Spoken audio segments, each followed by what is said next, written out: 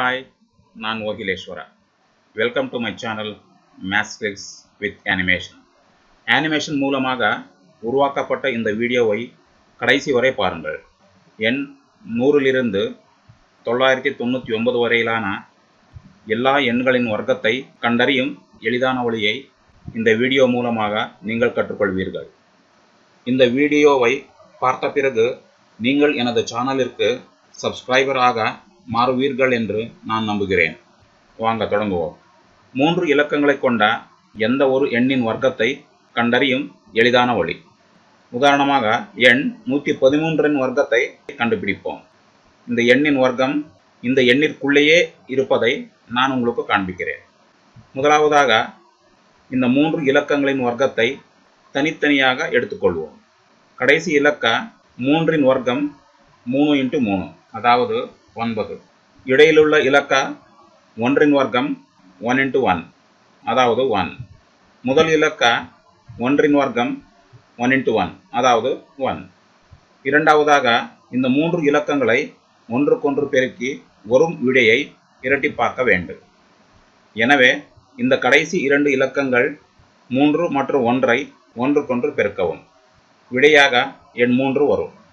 இந்த எண் மூன்றை இரட்டிப்பாக்கும்போது எண் ஆறாக மாறும். இந்த எண் ஆறை பத்தாம் ஸ்தானத்தில் வைக்க வேண்டும். அடுத்ததாக இந்த முதல் மற்றும் கடைசி இலக்கங்கள் ஒன்று மற்றும் மூன்றை ஒன்றுக்கொன்று பெருக்கவும். விடையாக எண் மூன்று வரும். இந்த எண் மூன்றை இரட்டிப்பாக்கும்போது எண் ஆறாக மாறும். இந்த எண் ஆறை இந்த நடுவின் எண்ணின் வர்க்கமான இந்த எண் ஒன்றுடன் கூட்டி எண் ஏழாக மாற்ற வேண்டும். கடைசியாக இந்த முதல் இரண்டு இலக்கங்கள் ஒன்று மற்றும் ஒன்றை ஒன்றுக்கொன்று பெருக்கவும்.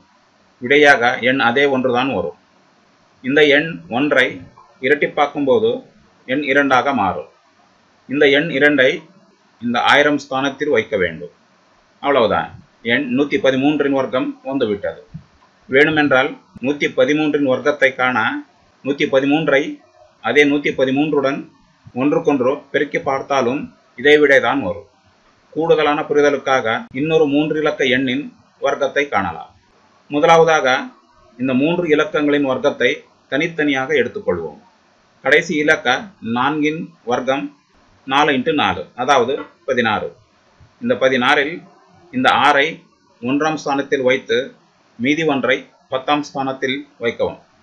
அடுத்து இடையில் உள்ள இலக்க ஒன்றின் வர்க்கம் ஒன் இன்ட்டு ஒன் அதாவது ஒன் அடுத்து முதல் இலக்க ஒன்றின் வர்க்கம் ஒன் இன்ட்டு ஒன் அதாவது ஒன் இரண்டாவதாக இந்த மூன்று இலக்கங்களை ஒன்றுக்கொன்று பெருக்கி ஒரு விடையை இரட்டிப்பாக்க வேண்டும். எனவே இந்த கடைசி இரண்டு இலக்கங்கள் நான்கு மற்றும் ஒன்றை ஒன்றுக்கொன்று பெருக்கவும்.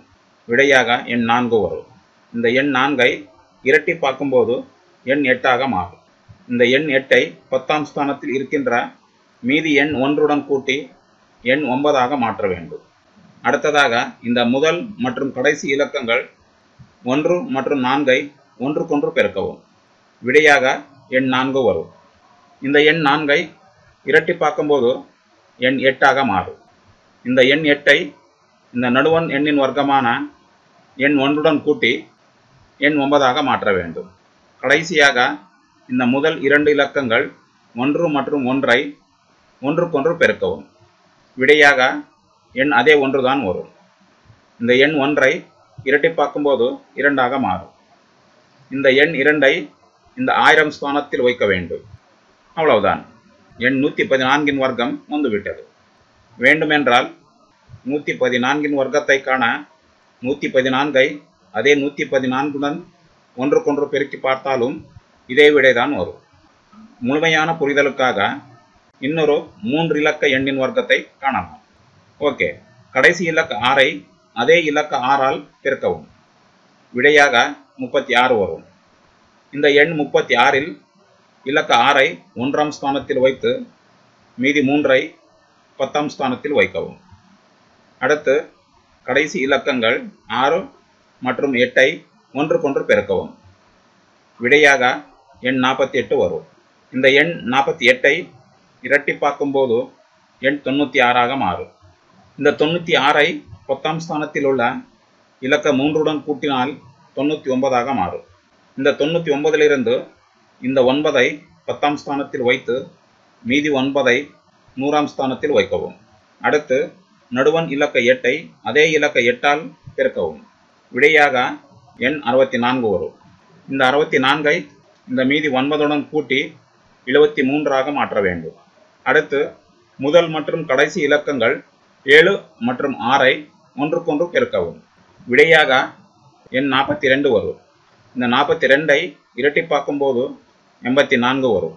இந்த எண்பத்தி நான்கை இந்த எழுபத்தி மூன்றுடன் கூட்டவும். பதிலாக நூற்றி ஐம்பத்தி ஏழு வரும். இந்த நூற்றி ஐம்பத்தி ஏழில் இலக்க ஏழை நூறாம் ஸ்தானத்தில் வைத்து மீதி எண் பதினைந்தை ஆயிரம் ஸ்தானத்தில் வைக்க வேண்டும். அடுத்து முதல் இரண்டு இலக்கங்கள் ஏழு மற்றும் எட்டை ஒன்றுக்கொன்று பெருக்கவும். விடையாக ஐம்பத்தி ஆறு வரும். இந்த ஐம்பத்தி ஆறை இரட்டி பார்க்கும்போது நூற்றி பன்னிரெண்டு வரும். இந்த நூற்றி பன்னிரெண்டை இந்த மீதி எண் பதினைந்துடன் கூட்டவும். பதிலாக நூற்றி இருபத்தி ஏழு வரும். இந்த நூற்றி இருபத்தி ஏழில் இலக்க ஏழை ஆயிரம் ஸ்தானத்தில் வைத்து மீதி எண் பன்னிரெண்டை பத்தாயிரம் ஸ்தானத்தில் வைக்க வேண்டும். கடைசியாக முதல் இலக்க ஏழை அதே இலக்க ஏழால் பெருக்கவும். விடையாக எண் நாற்பத்தி ஒன்பது வரும் இந்த நாற்பத்தி ஒன்பதை இந்த மீதி பனிரெண்டுடன் கூட்டி அறுபத்தி ஒன்றாக மாற்ற வேண்டும். அவ்வளவுதான். எண் எழுநூற்றி எண்பத்தாறின் வர்க்கம் வந்துவிட்டது. வேணுமென்றால் எழுநூற்றி எண்பத்தி ஆறின் வர்க்கத்தை காண எழுநூற்றி எண்பத்தி ஆறை அதே எழுநூற்றி எண்பத்தி ஆறுடன் ஒன்றுக்கொன்று பெருக்கி பார்த்தாலும் இதே விடைதான் வரும். இந்த வீடியோ உங்களுக்கு பிடித்திருந்தால் தயவு செய்து லைக் பண்ணுங்கள் ஷேர் பண்ணுங்க கமெண்ட்ஸ் பண்ணுங்க. இது போன்ற வீடியோக்களை உருவாக்குவதற்காகவும் எனக்கு ஊக்கமளிக்கும் விதமாகவும் என் சேனலை சப்ஸ்கிரைப் பண்ணுங்க. தேங்க்யூ